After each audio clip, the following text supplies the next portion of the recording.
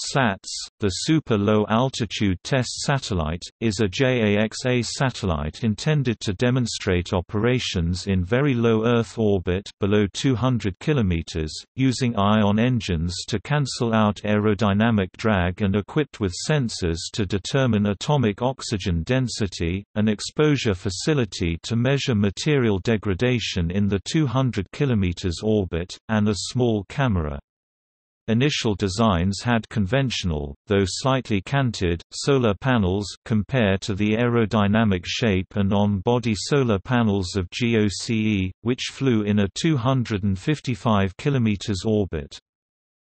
SLATS was launched on a HIIA rocket alongside the GCOMC satellite to a 630 km orbit, followed by orbit-lowering maneuvers by a combination of chemical propulsion and aerobraking, with final operation at an altitude below 180 km. The launch took place on December 23, 2017 via a HIIA rocket.